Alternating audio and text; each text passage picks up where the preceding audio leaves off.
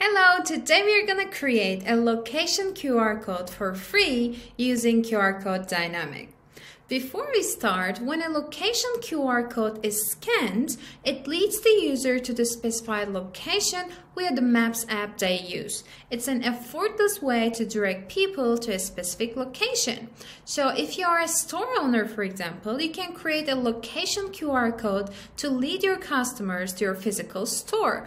Or if you're in real estate business, you can use the location QR code to provide potential customers with the exact address as a potential buyer's primary considerations are the distance from work, school, and nearby facilities. I can think of many other examples and you can also write your examples in the comments below so everyone can get inspired. Okay, saying that, I think it's time to start creating our location QR code.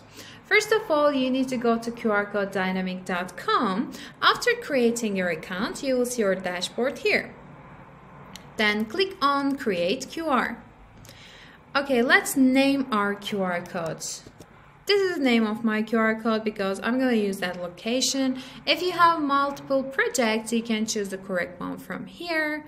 Let's choose the QR type and let's choose, okay, let me write it down real quick. And then longitude, you need to be careful with these numbers in order not to have any mistakes. Okay, now it's all about customization. You can choose the foreground type, you can choose the colors, gradient style also if you choose gradients. Okay, let's see. And background color. If you're gonna choose a background color, make sure it's contrast because it's gonna make your QR code more visible if you use contrast colors. And then we have the eyes. These are the eyes of your QR code actually. You can also customize them. Let's see, it looks good for me. And then we have branding option. You can add your logo. And we have other options like the size, margin size, and error correction capability. Let's choose the best. Okay. Once you're happy with how it looks, click on Create. Okay, our QR code is actually ready. I would suggest you to try it out first before actually using it.